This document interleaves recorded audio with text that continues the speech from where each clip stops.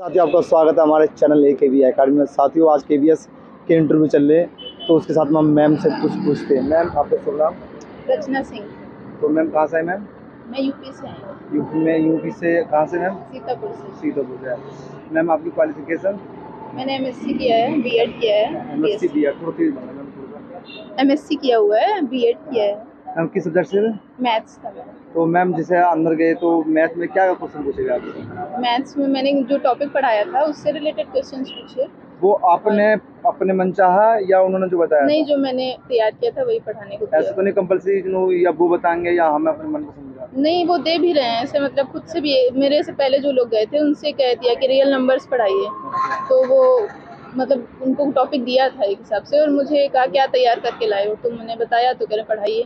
तो मैम जो क्वेश्चन आपसे पूछेगा उन क्वेश्चन के बारे में बताइए। क्वाड्रेटिक इक्वेशंस मैंने पढ़ाया था तो उससे पूछा कि इसका मतलब ग्राफ कैसे बनाओगे? और फिर बोर्ड पे बनाया बोर्ड पे बनाया बना रहे थे? हाँ बोर्ड पे बनाने को। जी फिर? और जैसे ग्राफ बनाया मैंने पैराबोलिक ग्राफ होता है तो वो पूछ रहे थे ये कैसा है? शेप कैसा है? तो मैंने कहा पैराबोलिक कैसे फिर इसको वर्टेक्स कैसे होगा? कैसे फाइंड फाइंड करोगे? फिर स्प्लिटिंग ऑफ़ मतलब मिडल फैक्टर करके क्वाड्रेटिक इक्वेशन के रूट निकालते हैं तो उसको एक्टिविटी के थ्रू बच्चों को समझाना है वो कैसे करोगे? और फिर उसके बाद इतना ही हुआ बोर्ड वर्क फिर उसके बाद से मेरे बायोडाटा से ही क्वेश्चंस पूछे थे। तो मैं वो जो पैनल था वो हाँ हाँ बोल रहा था बीच में या हाँ रिस्पॉन्स कर रहे थे मतलब एस और नो में रिस्पॉन्स ऐसे सर ही ला रहे थे ज़्यादा नहीं डेंजर डेंजर फेस से तो नहीं देख रहे थे? नहीं नहीं ऐसा नहीं अच्छे तो मैम ये था ये बताना ड्रेसिंग सेंस में कि ज़्यादातर मैंने यहाँ पे साड़ी में देखी है। जो फीमेल स्टाफ वो तो आप पे डिपेंड करता है जो भी जिसमें कंफर्टेबल हो वो पहन के आ सकते हैं। वैसे वो कहते तो कुछ भी नहीं कंपलसरी तो नहीं है मैम नहीं कंपलसरी तो नहीं। मैम आपके मार्क्स कितने थे? सर मार्क्स मत पूछिए अभी तो अच्छे जी? नहीं है। मार्क्स नहीं ज़्यादा अच्छे बस जस्ट क्वालिफाई है तो पीआरडी में एग्ज़ाम भी दिया मैम आपने? हाँ सर दिए देखता हूँ मैं। जी जी। धन्यवाद। सर आपका चैनल नहीं विपिन पता। गौतम तो मैम ये बताइए कि जैसे आपने यहाँ पे आया आपने पहले इंटरव्यू दिया उसके बाद में लास्ट में लास्ट में आपसे क्या क्वेश्चन पूछा था? लास्ट में। लास्ट में मेरे बायोडाटा से रिलेटेड क्वेश्चंस पूछे थे उन्होंने जैसे मैंने मॉरल वैल्यूज़ डाला था तो कह रहे थे क्या क्या मॉरल वैल्यूज़ डेवलप करोगे? और मैंने जैसे इक्वल पेस डाला था कि इक्वल पेस से बच्चों को पढ़ाऊँगी तो उन्होंने कहा कैसे पढ़ाओगे? इक्वल पेस कैसे लाओगे? यही सब क्वेश्चन थे। तो मैम आपने तैयारी कैसे करी थी? सर तैयारी तो ऐसे खुद से की थी यूट्यूब से देख के की थी। कौन कौन चैनल से कई सारे चैनल एक चैनल नहीं देखती हूँ बहुत सारे चैनल कौन एक आध का नाम बताओ मैम। सर जैसे कि एक एस के सैनी सर का है मैथ्स का उनका देखा था। और और कई सारे हैं बाकी तो प्रैक्टिस अभिनय मैथ हुआ या क्योंकि इनका एस एस सी बेस्ड होता है ना थोड़ा। हाँ तो इनका N C R T based रहता है। आपको इंग्लिश मीडियम में होगा लैंग्वेज हाँ टोटल इंग्लिश में। मैं हिंदी में अगर बीच बोल रही थी बीच में तो वो कह रहे थे कि इंग्लिश ही में बोलो। तो कंपलसरी मैम इंग्लिश बोलना। हाँ मेरे बोर्ड में तो कंपलसरी था क्योंकि जो दो मेंबर्स थे उसमें वो साउथ के थे शायद।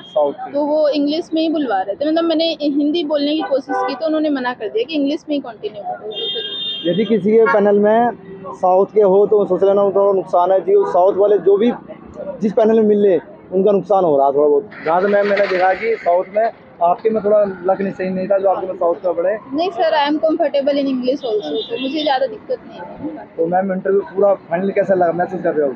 सर ठीक तो लगा बाकी मार्क्स पे डिपेंड करता है ना। ऐसे यहाँ देख के तो पता नहीं चलता कि कैसा गया है। वो तो समझते ही रहते हैं। फीलिंग तो आती है अच्छी। हाँ सही मतलब सही हुआ है नॉर्मल पीआरटी का भी दिया मैम। हाँ सर उसमें कितने मार्क्स थे सर मार्क्स मत पूछिए बाकी मतलब क्वालिफाई हो सकता है उसमें तो मैं हम तो ये कहना चाह चाहेंगे कि अगर आपको यहाँ हो जाए तो पीआरटी मत देना आना हाँ कुछ बच्चे मैम में ऐसा होता तो वो आप यहाँ एक सीट फिल कर लेंगे उसमें भी दे दिया। तो बीस हज़ार के लगभग बच्चे बुलाएँगे मैं क्यों पीआरटी लूँगी? अगर मेरा टीजीटी पीजीटी में कहीं हो जाएगा। ना ना मैम कुछ ऐसे जो पीआरटी देने भी आएँगे सर अगर नहीं हुआ तब तक रिज़ल्ट तो नहीं आएगा तो पीआरटी का देने तो जाऊँगी ही तो आशा ये करेंगे कि उससे पहले पीआरटी रिज़ल्ट से पहले यहाँ पूरा पूरा काम कंप्लीट हो जाए। कंप्लीट होगा तो मैम आपको फ़ायदा ही है। तो मैम मिल गया बहुत खुशी हुई आपको।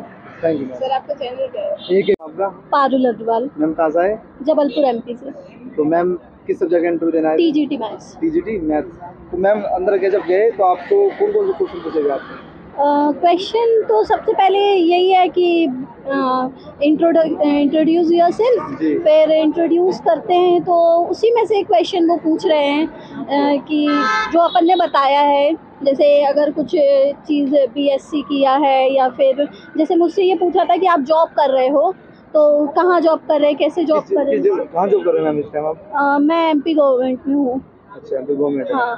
पीआरटी क्या है? पी आर टी अच्छा अच्छी बात है मैम तो मैम क्या जो क्वेश्चन के बारे में बताओ क्या क्वेश्चन पूछेगा आपसे? बच्चे क्वेश्चन के बारे में बहुत पूछते हैं। क्वेश्चन देखो सबसे पहले तो एक उनका जो सब्जेक्ट रिलेटेड है वो वहाँ पर आपको पूछेंगे सब्जेक्ट रिलेटेड उसके बाद जो चीज़ आप बोलोगे ना उसी में से वो पूछते हैं। तो जो हाँ, करंट हाँ, में? हाँ जी ट्वेंटी पूछा था एफ़ एल मैम कुछ बच्चे कह रहे हैं करंट नहीं पूछे तो मैम बता रही करंट के क्वेश्चन नहीं जी ट्वेंटी पूछा है हाँ, तो और। एफ़ एल एन पूछा है। जी। और फिर बाकी तो सिचुएशन बेस्ड ही थी आप क्यों ज्वाइन कर रहे हो के जी, वहाँ छोड़ के कर रहे हो? क्या बताया अब वो मेरा मतलब ऐसा पर्सनल रीजन मतलब ऐसे बोल सकते अच्छा, हैं जो आप आप कन्वीनियंट जो आपको लगे अच्छा अच्छा वो अच्छा। बोल सकते हो आप लोग।